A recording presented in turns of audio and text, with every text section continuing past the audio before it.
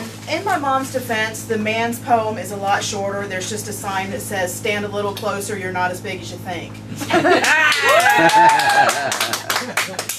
My daughter. She got props. Um, the first one, some of you have met my son Jeremiah. He's read here before. Some of you remember him. Um, he just turned 20 last week, so I'm feeling kind of old. And my 10 year old comes home from school with his first poem, and this is it. After today comes tomorrow, and mess ups go away. After the rain comes the sun, and people feel just fine.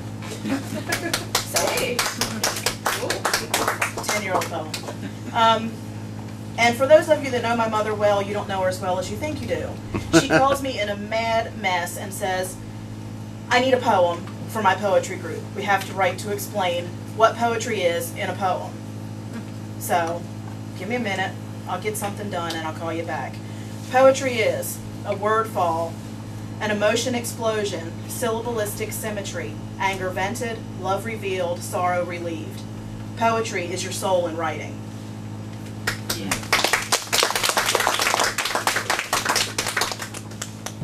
And um, this one I wrote, and it kind of got really angry really quick, and I, I don't know why, but it's called She Climbed. Daunting peaks frozen in ice and in time, a man's world, impassable, impossible, unthinkable. She climbed. Young and impressionable, the media dictates her style. A man's world, she must be thin and beautiful. She climbed. Alone and with child, scared and unsure, a man's world, destined for welfare and poverty. She climbed. Locked doors leading from bedroom to boardroom, a man's world, rigid and professional. She climbed. Confident in herself and her sexuality, a man's world, denounced as a whore. She climbed. She climbed and she overcame, and even if she is overcome, she climbed and the mountain is hers. If we've got time for one more, this one has a little photograph with it, if y'all can see it. I'm gonna let y'all take a look at it. Um, there's a, I'm from Asheville, North Carolina, in case y'all were wondering what this funny accent is.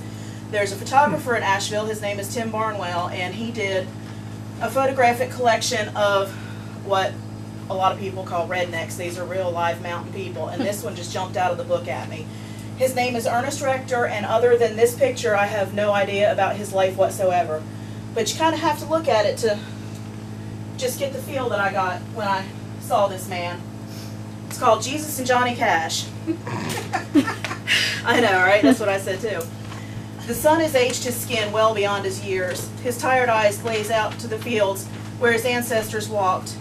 He watches as what the world calls progress takes more and more of the homestead he loves. The rough-hewn boards under his feet are both familiar and comforting. He knows each creak and groan as if they come from deep inside his bones.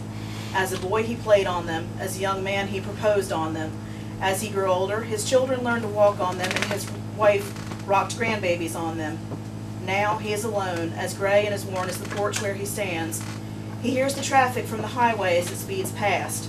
Not even the old oak tree was big enough to stop the construction. When the loneliness gets to be too much and the traffic too loud, he goes inside to the two men he spends his last days with. He prays to Jesus to keep him safe while Johnny sings the blues.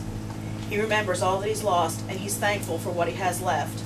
And as the sun sets on the old porch, the three of them walk, will walk the fields once more. The old gray man, Jesus, and Johnny Cash. Thank you.